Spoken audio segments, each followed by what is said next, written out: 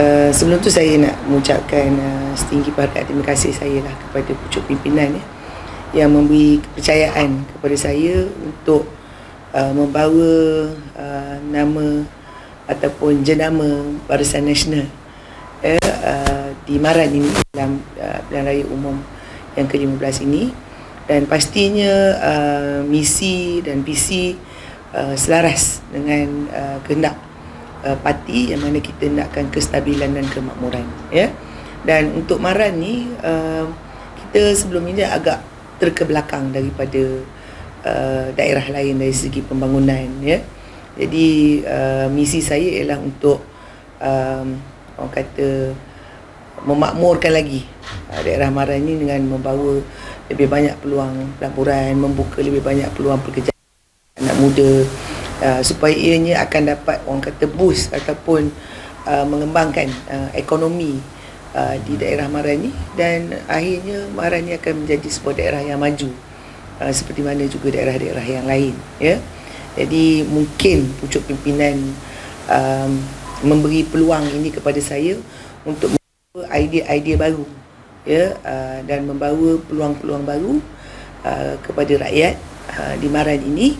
Uh, dengan uh, jenama uh, kita lah Barisan Nasional. Empat penjuru, kebanyakan tempat saya tengok tiga penjuru, empat penjuru, tak ada dah yang one to one kan. Kecuali satu ada di Dun Kemayan, itu pun kerana calon yang ketiga tu ditolak pencalonannya kerana technical problem. Yang lain saya tengok semuanya tiga, empat, lima ya. Dan saya kira ini adalah satu perkembangan yang uh, kita tak tengok 10 tahun yang lepas ya. Ini bermakna um, kita boleh tengok dari sudut um, menunjukkan bahawa rakyat negara kita ni telah celik politik ya. Uh, dan mereka uh, menganggap bahawa uh, politik ini penting. Bagi saya itu kalau kita tengok dari segi positif ya. Tapi dari sudut kita barisan nasional uh, bagi saya ialah satu cabaran yang sangat hebat kepada kita. Ya kita kena uh, mengambil langkah untuk menilai semula Uh, bagaimana cara untuk kita mendapatkan kembali kepercayaan rakyat.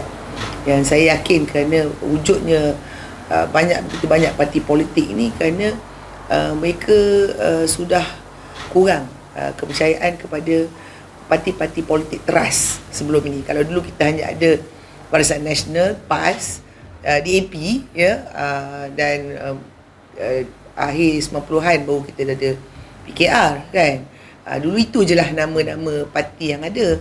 Tetapi akhir ni tak apa-apa parti pun ada kan. Uh, jadi macam-macam ada ya. Jadi ia memberi bagi saya uh, cabaran, um, challenge ya, kepada kita Barisan Nasional lah. Untuk kita mendapatkan kembali kepercayaan rakyat supaya mereka uh, orang kata merasakan bahawa hanya Barisan Nasional sahajalah yang mampu untuk uh, melaksanakan, membawa perubahan kepada Malaysia ini secara harapan saya lah. Ya saya berharap supaya rakyat Malaysia membuat penilaian yang terbaik.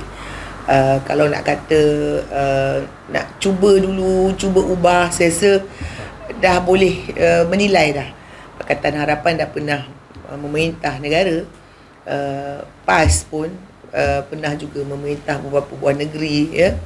Uh, pentadbiran dan uh, Barisan Nasional juga uh, setelah sekian lama kita tahu track record uh, apa ni Barisan Nasional yang mentadbir ya dan memimpin. Jadi uh, penilaian ini penting uh, bagi mereka untuk mereka melihat sendiri. Ya.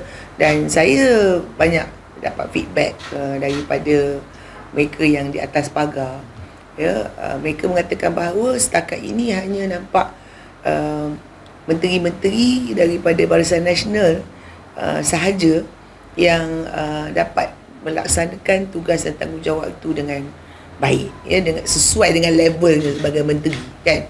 Uh, jadi uh, inilah yang kita harapkan dan saya harapan saya lah ya secara peribadi kepada rakyat Malaysia untuk membuat pertimbangan dan perbandingan yang sebaik saya memang semua orang jumpa saya tanya soalan yang sama uh, bagaimana tiba-tiba ya uh, ahli bekas ahli parlimen Maran selama empat penggal yang juga masih lagi sebagai timbalan menteri caretaker government sekarang ya.